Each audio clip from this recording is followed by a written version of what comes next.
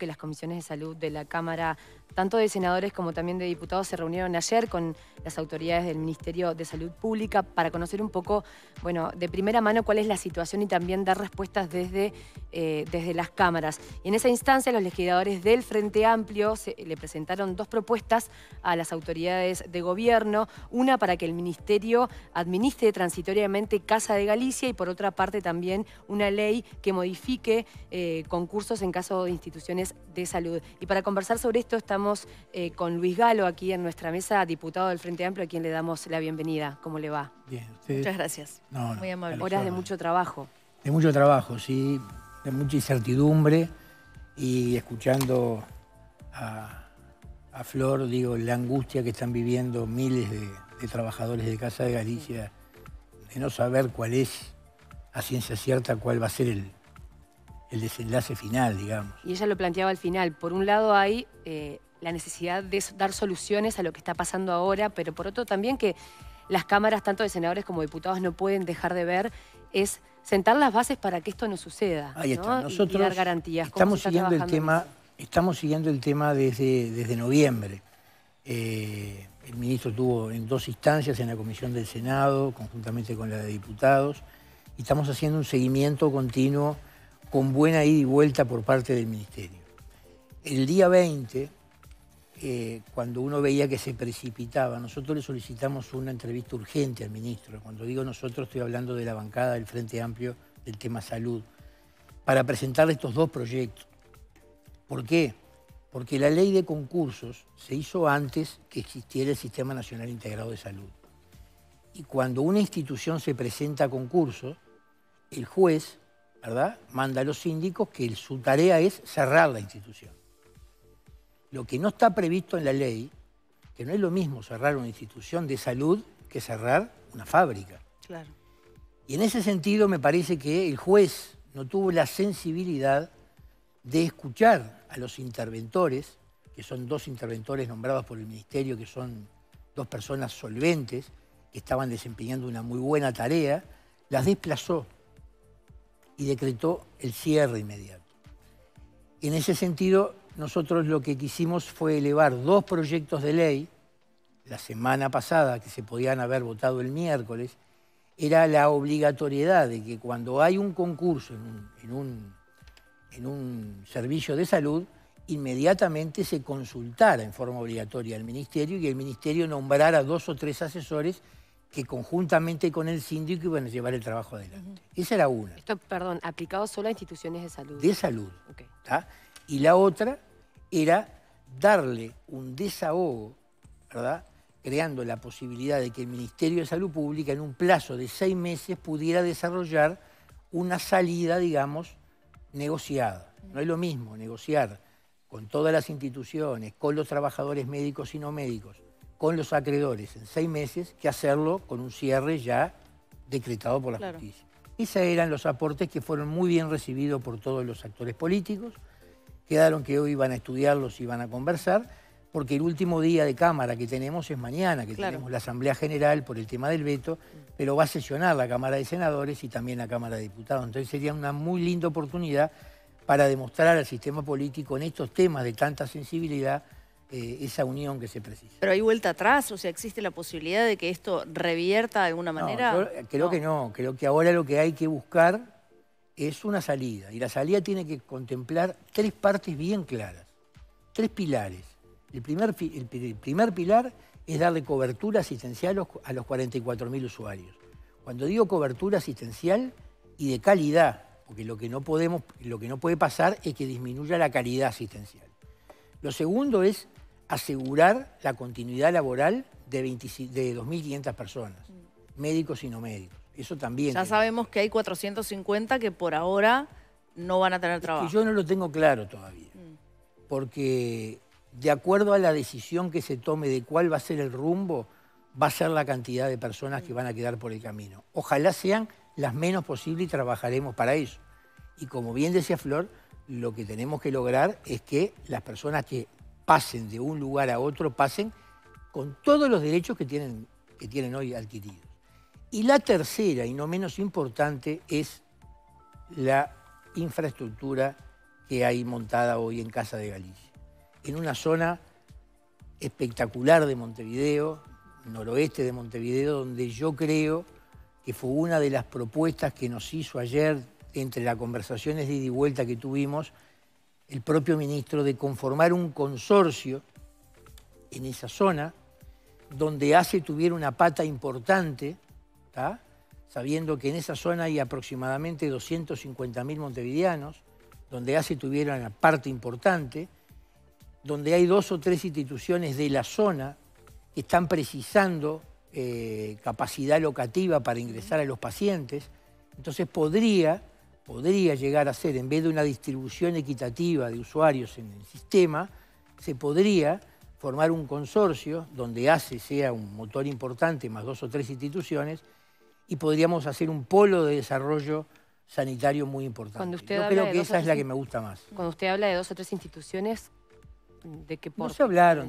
Es que eh, sería malo de mi parte estar nombrando las instituciones, pero lo que el ministro y el presidente de la JUNASA, el contador Yagoda, nos decía, que fue lo que hicimos cuando la absorción de, Grenca por parte de, la española, es una grilla, ¿verdad?, donde pone la, donde tiene el centro asistencial la institución, la cantidad de usuarios que tiene cada institución, el endeudamiento por usuario que tiene cada institución, las franjas etarias de la institución, por ejemplo, instituciones que tengan más del 25% de su padrón mayor de 65 años no, serían, no estarían en capacidad de absorber, y en función de eso quedarían tres o cuatro instituciones que serían las que podrían conformar ese consorcio conjuntamente con ACE y no perder esa planta física.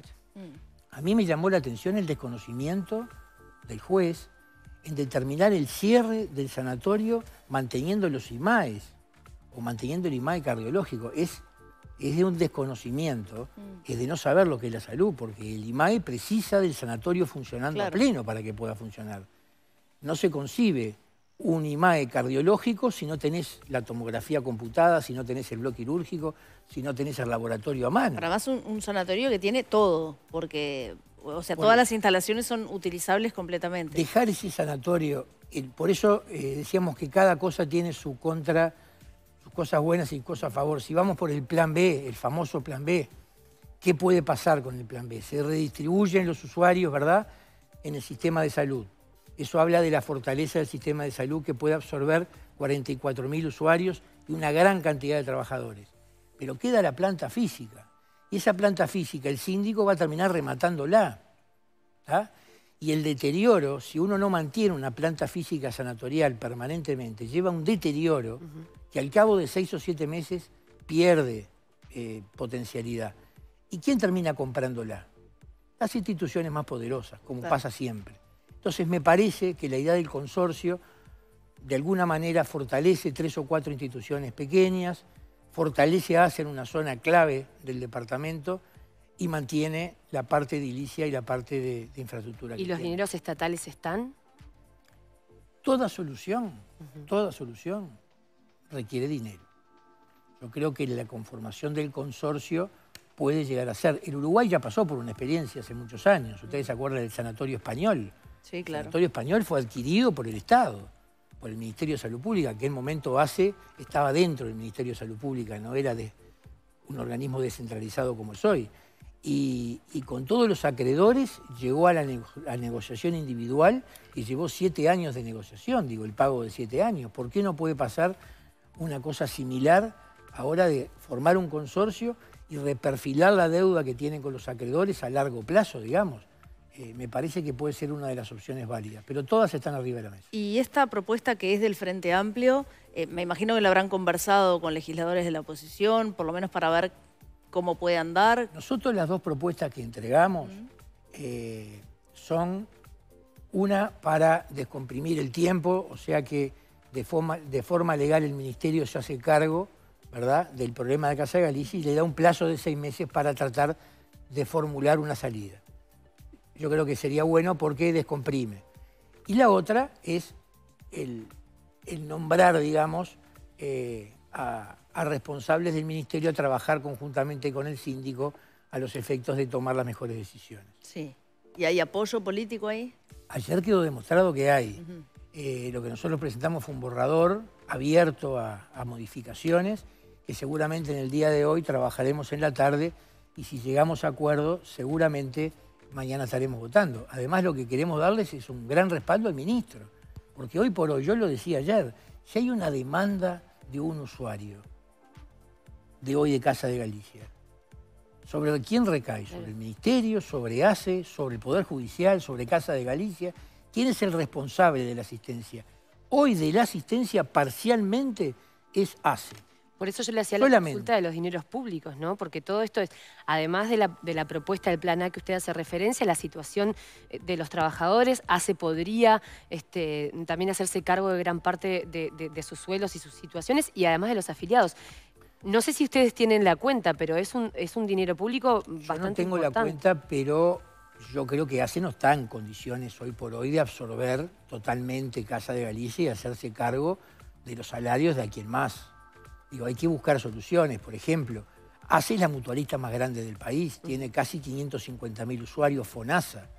Bueno, habrá que buscar mecanismos legales porque hoy los usuarios FONASA no cobran la cápita, cobran a través de rentas generales. Habrá que buscar mecanismos de que ACE cobre directamente a través del FONASA y no a través de rentas generales esos 550.000 usuarios. O sea, hay material para poder trabajar. ¿Y esta posibilidad que hoy plantea el diario El Observador de absorber a todos los usuarios, ¿es viable? Así. El, el, perdón, el CASMU. Yo creo que ninguna institución hoy es, tiene la capacidad para absorber los 44.000 Es mucha gente, ¿no? Mucha Son 44.000 usuarios.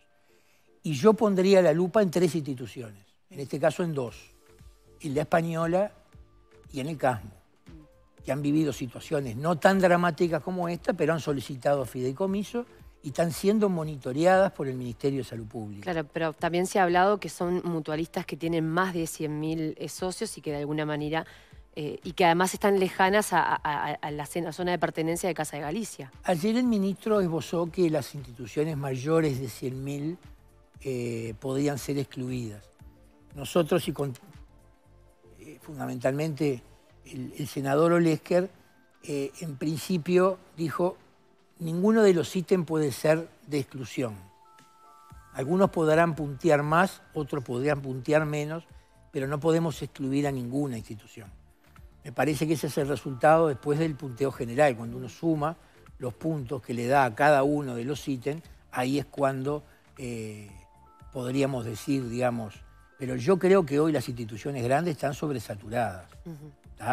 No las quiero nombrar, pero hay con entrar a, grandes, con entrar a las emergencias o a las colas, cuando uno va a sacar números, me parece que hoy no estarían en condiciones eh, de absorber, pero eso es una opinión muy personal, digo, que no la he conversado, digamos, más que Evidentemente hay mucha cosa todavía eh, negociable. Hoy, hace un, ratito tú decías que, eh, que, se quería apoyar al Ministerio de Salud Pública en, todo lo que se lleve adelante hasta ahora.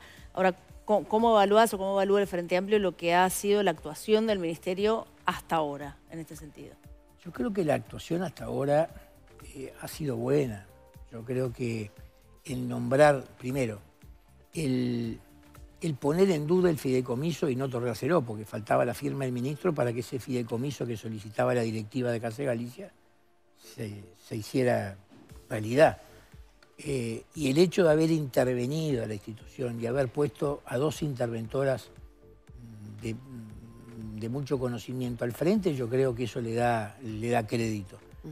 Yo la, discrepancia que pudiera tener, pero ya es, es llover sobre mojado, digo, es el seguimiento del fideicomiso, del último fideicomiso que le dio el Frente Amplio en, diciembre del 2019, eh, me parece que debería haber tenido un seguimiento mucho más estricto, porque por lo que nos cuentan, esos dineros no fueron bien invertidos, digamos. Hicieron compras desmedidas eh, que llegaron a la debacle de hoy. Me parece que es lo único que podemos achacarle a la Junta Nacional de Salud, el seguimiento específico de ese, de ese último fideicomiso que se dio. Y diputado, antes de despedirlo, ¿qué se está haciendo para que esto no pase?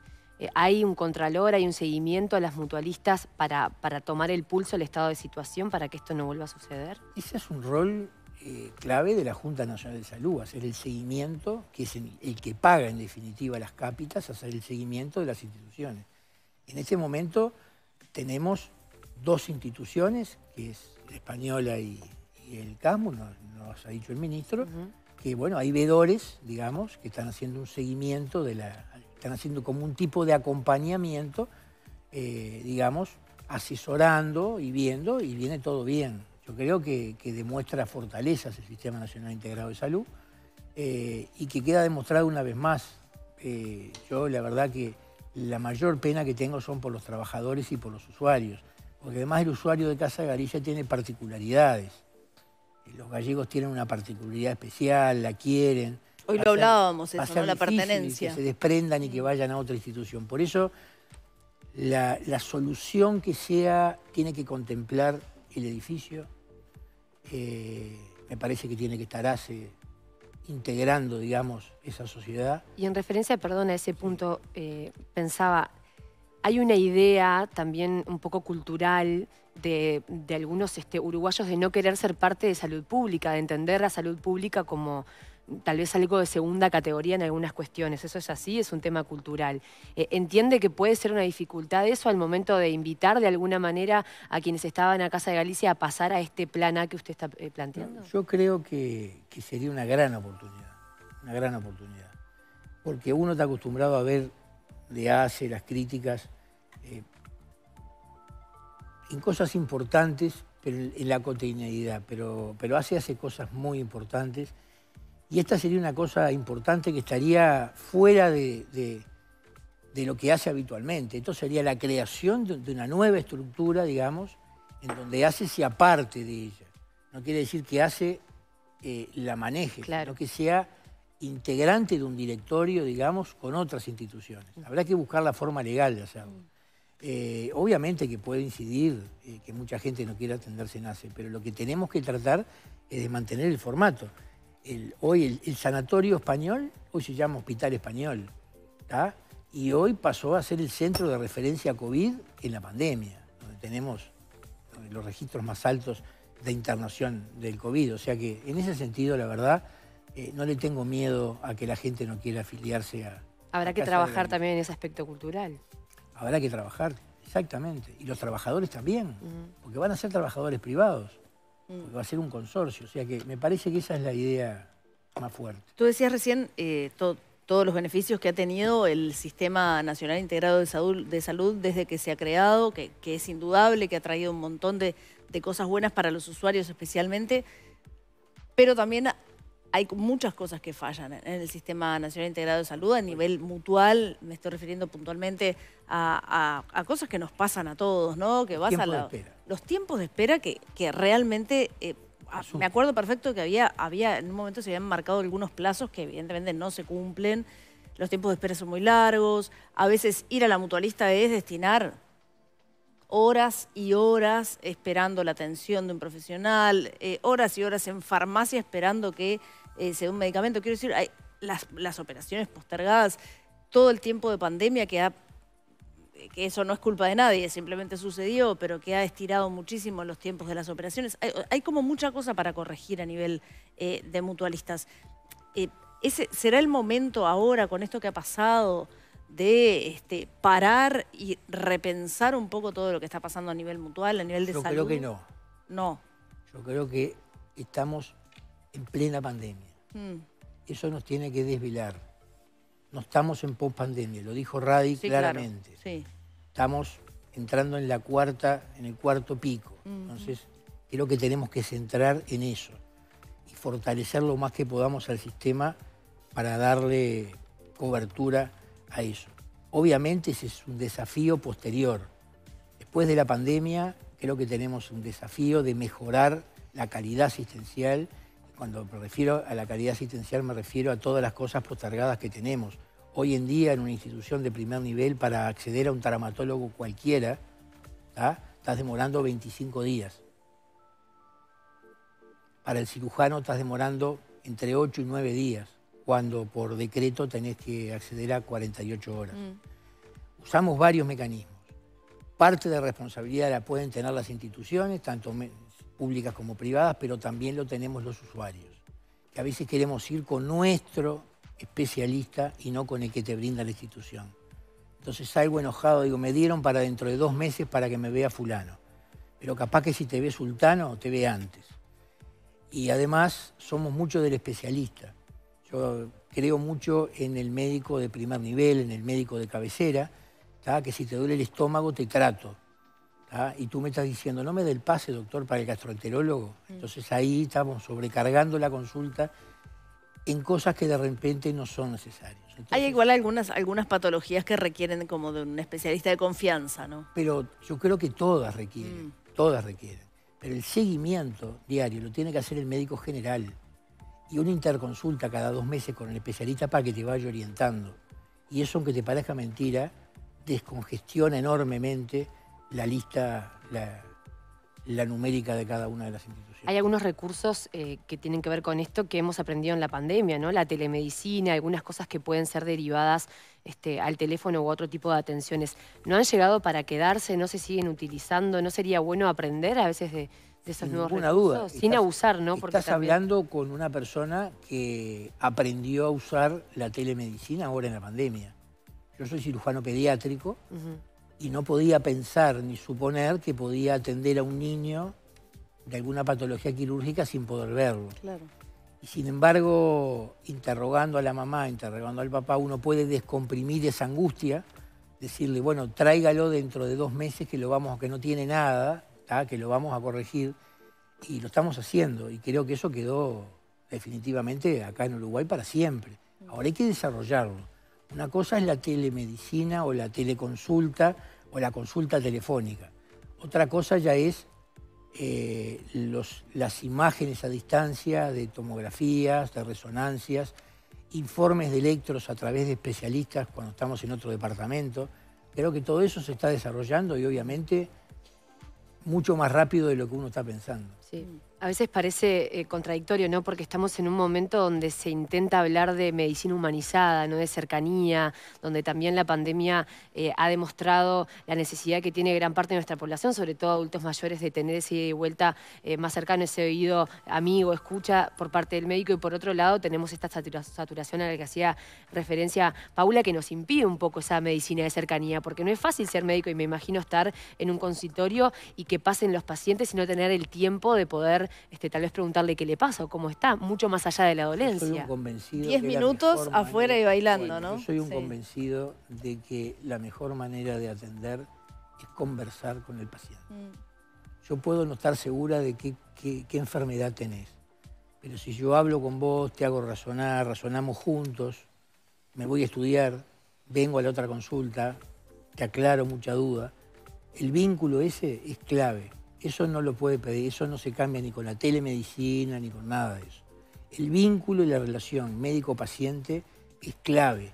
Y yo creo que en los últimos 10 o 15 años se ha perdido. Ese vínculo médico-paciente se ha perdido. Y ha habido dificultades de relacionamiento, de demanda, se ha judicializado mucho la medicina. Eh, el, niño, el niño Google, viste que te vienen con los nombres raros y te ponen Google y, todo eso me parece que, se, mejora mucho en el diálogo con el paciente. Otra de las cosas a mejorar, y creo que en esto estamos todos de acuerdo, salud mental, atención a niños con distintas condiciones y patologías, eh, que a veces necesitan una consulta con un especialista y son meses y meses y meses de algo que necesita atención temprana. O sea, es decir, a nivel salud hay, hay mucha cosa para hacer. Yo soy muy autocrítico. Demoramos mucho en el periodo pasado, si bien hubo un trabajo interdisciplinario de todos los actores, de todos los actores, técnicos y no técnicos, usuarios, trabajadores, en desarrollar, eh, yo creo que una excelente ley de salud mental, nos costó reglamentarla a nosotros, al Frente Amplio, le costó reglamentar gran parte de ella y es un desafío que tiene este gobierno y que se lo estamos exigiendo, la reglamentación. Y la impresión que yo tengo que estamos retrocediendo en este gobierno por el tema de salud mental.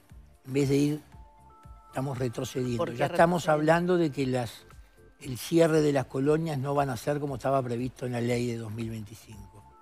Eso es un retroceso franco, porque tenemos que terminar y erradicar lo que son las colonias, el hacinamiento de los pacientes con patología de salud mental si seguimos con esa mentalidad, a pesar de la ley que tenemos, eso para mí es un retroceso. Y que salud mental no solamente parte desde lo que pasa en las colonias, sino desde mucho antes también. Pero por supuesto, por supuesto. Bueno, a veces las problemáticas llevan a esto, ¿no? Poner sobre la mesa distintas situaciones para problematizarlas, para debatirlas. En cuanto a Casa de Galicia, muchas dudas, muchas preguntas, sobre todo de usuarios y trabajadores, que esperemos tener respuesta en los próximos días. Esperemos que sí. Estamos Muchas trabajando gracias. para Muy amable. Gracias recibirlo. Muchas gracias. Bien, nosotros seguimos adelante.